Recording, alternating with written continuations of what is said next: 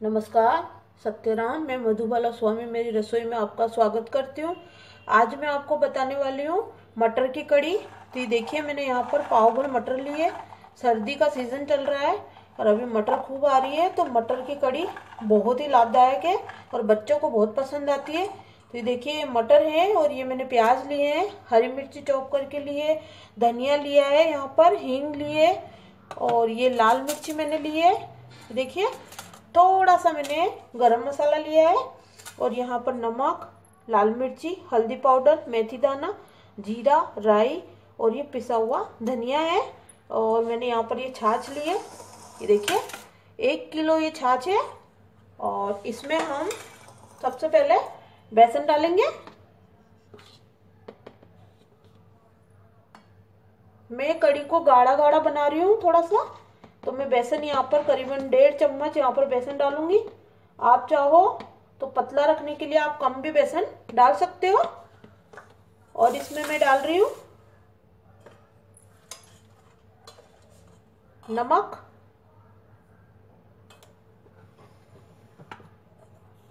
ये नमक मैंने डाल लिया है। लाल मिर्ची मैंने डाल ली है। धनिया पाउडर मैं यहाँ पर खूब सारा डाल रही हूँ।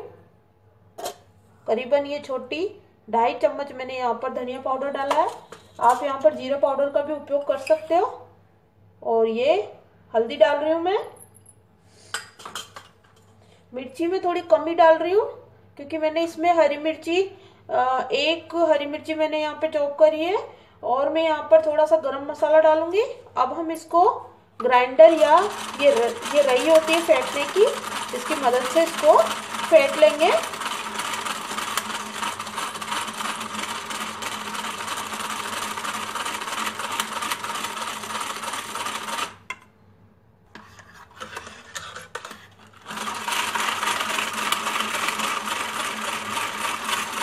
देखिए हमने इसको अच्छे से फेंट लिया है। इसमें मैंने पानी बिल्कुल नहीं डाला है। आप चाहो तो लास्ट में आप ये सब मसाले न मिलाकर तड़का भी लगा सकते हो। फ़र्स्ट में तेल डालकर। बट मैं अलग तरीके से आपको कड़ी बनाना बता रही हूँ, जो बहुत ही आसान है। और ये कड़ी राइस आप खा सकते हो या कड़ी पराठा भी आप खा सकते हो। ये देखिए, एक पैन में मैंने कढ़ाई में तेल डाल रखा है। गैस ऑन कर दिया है मैंने, ताकि हमारा तेल अच्छे से गर्म हो जाए। आप इसमें गैस कड़ी पत्ते का यूज़ कर सकते हो बट मैं यहाँ पे कड़ी पत्ता नहीं डाल रही हूँ। आप साबुत धनिया, जो खड़ा धनिया होता है, उसका भी आप उपयोग कर सकते हो। तेज पत्ता आप डाल सकते हो, बड़ी इलायची आप डाल सकते हो बट मैं यहाँ पर प्लेन ही कड़ी बता रही हूँ सिंपल क्योंकि मेरे बच्चों को तेज पत्ता, बड़ी इलायची नहीं पसंद है।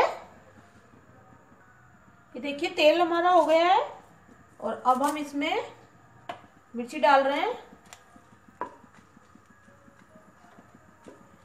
मिर्ची जब तड़कने लग जाएगी, ये देखिए। अब इसमें हम मेथी दाना डालेंगे। कड़ी हमेशा मेथी दाने से ही चौंकी जाती है, राई और मेथी दाने से। खड़ा धनिया आप इसमें डाल सकते हो। जीरा इसमें नहीं डाला जाता है, बट मैं थोड़ा सा यहाँ पे जीरा डाल रही हूँ, टेस्ट के लिए। अब मैं इसमें प्याज डाल रही हूँ।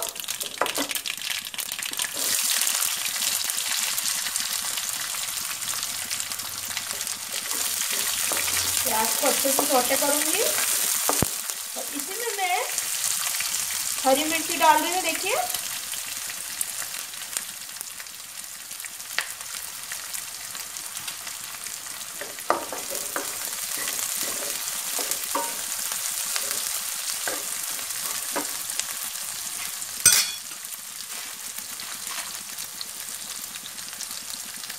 देखिए गाइस इसी में मैं हींग डाल रही हूँ।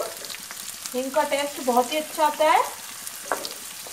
अब इसको थोड़ा सा नरम होएगा, तब तक मैं इसको गोल्डन ब्राउन होएगा, तब तक मैं इसको इसी तरीके से चलाऊँगी। देखो प्याज हमारा गोल्डन ब्राउन हो गया है, नरम भी हो गया है। इसी में मैं हरा धनिया डाल रही हूँ। हरा धनिया में गार्निशिंग में भी डालूँगी। आप चाहो तो कड़ी बनने के बाद आप ऊपर से हरा धनिया डाल सकते हो। देखिए।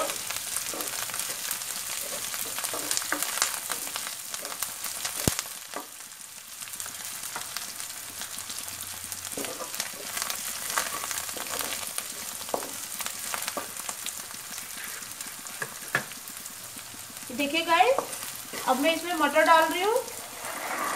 मटर डालते ही उछलने लग जाता है, इसलिए हमें तुरंत कड़ी का जो घोल है वो डालना है। ये देखिए, मैंने इसको थोड़ा सा चला दिया है मटर को।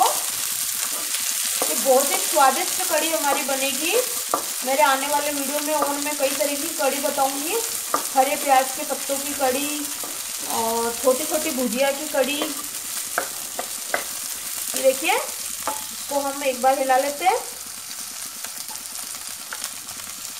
अब हम इसमें डाल देंगे ये।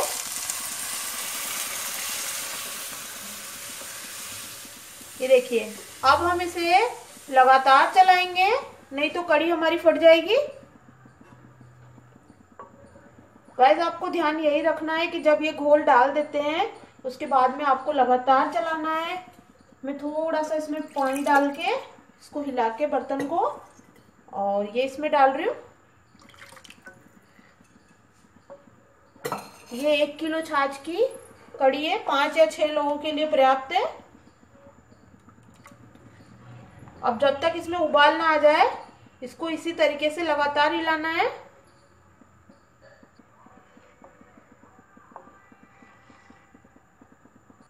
ये देखिए गाइस मटर की कड़ी में उबाल आना स्टार्ट हो गया है। अब हम इसमें, ये देखिए गरम मसाला है, एक चिमटी गरम मसाला है, वो मैं डाल रही हूँ। ये देखिए।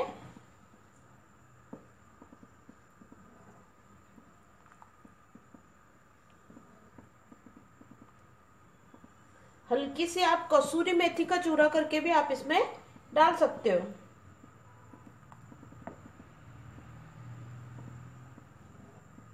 और अब हम इसको इस ये उबाल आ गया इस स्टेज पर हम इसको करीबन पाँच छः मिनट उबलने देंगे ताकि ये कड़ी हमारी और टेस्टी बन जाए। ये देखिए, पाँच या सात मिनट का उबाल और हम इसको लेंगे। देखिए गाइस कड़ी हमारी बनके रेडी है। उबाल आने के बाद हमें इसको हिलाने की ज़रूरत नहीं पड़ती। उबाल आने के बाद ये फटती भी नहीं है। देखिए कितनी अच्छी और कितनी अच्छी महक आ रही है। और बहुत ही टेस्टी हमारी कड़ी बन के तैयार हुई है। अब हम इसको सर्व करेंगे। ये देखिए गाइस कड़ी हमारी बन के रेडी है।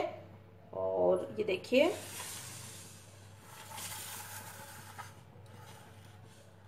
इस तरीके से हमने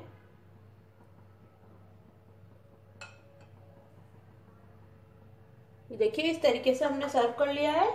और अब हम इसके ऊपर थोड़ा सा हरा धनिया सर्व करेंगे।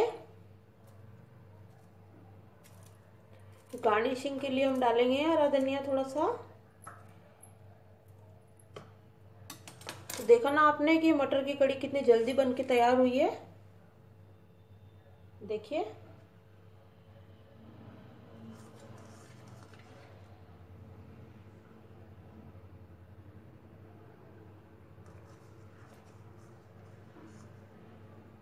आप चाहो तो यहाँ पर अचार से भी आप सर्व कर सकते हो।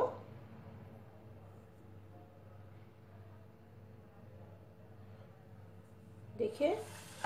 तो गाइज़ अगर मेरा ये वीडियो आपको पसंद आए तो प्लीज़ आप लाइक एंड सब्सक्राइब कीजिएगा कमेंट्स भेजिएगा शेयर भी कीजिएगा। Thank you for watching my video thanks a lot guys